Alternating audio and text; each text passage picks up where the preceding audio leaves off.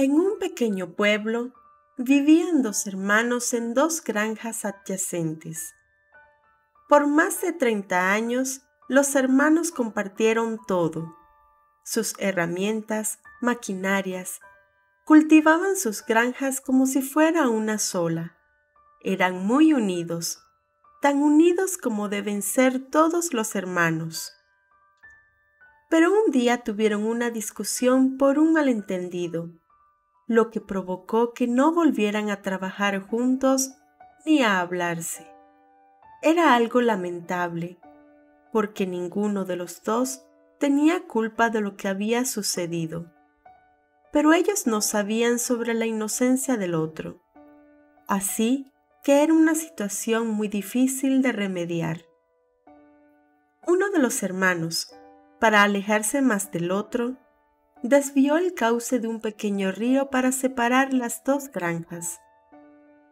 Una mañana, alguien llamó a la puerta del otro hermano.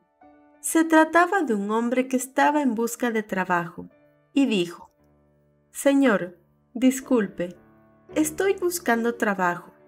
Puedo realizar cualquier labor. Soy bueno para trabajos de carpintería. El granjero se alegró porque precisamente necesitaba un carpintero. Así que dijo, Casualmente tengo el trabajo perfecto para ti. ¿Ves aquella granja? Es de mi hermano. Tuvimos un problema y él desvió ese río para dividir las granjas. Le pagaré con la misma moneda. Tengo un poco de madera en el granero y con ella haré una cerca lo más alta posible, para que ni siquiera pueda ver mi granja. Ya que necesitas trabajo, puedes tomar la madera y hacer la valla por mí. Te pagaré bien por eso. Yo iré al pueblo por provisiones. El carpintero se puso a trabajar de inmediato. Buscó la madera en el granero y trabajó por horas cortando y clavando la madera. Cuando el granjero llegó se sorprendió no había ninguna enorme valla como había pedido, sino un hermoso puente que cruzaba el río. Era un puente perfecto. Era evidente que había sido construido cuidando hasta el último detalle.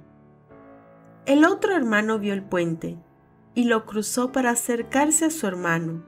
Lo abrazó y le dijo, Gracias hermano, por dar este paso para unirnos de nuevo es un noble gesto de tu parte.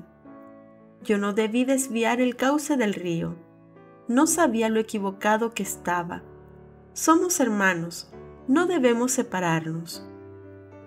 Y así, la discusión de los hermanos se convirtió en algo del pasado. Al día siguiente, en la mañana, el granjero vio al carpintero guardando sus herramientas y le preguntó, ¿A dónde vas? Todavía tengo más trabajos para ti. Entonces el carpintero le dijo con una sonrisa, Lo siento, aunque me gustaría quedarme, todavía tengo muchos puentes por construir. No te alejes de tus hermanos, no crees divisiones, al contrario, construye puentes, construye puentes que te unan a tus hermanos y construye puentes que unan a otras personas, que permitan unir amistades fracturadas.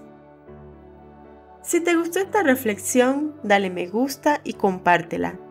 Apoya nuestro canal suscribiéndote y dándole a la campanita. Gracias por ver este video.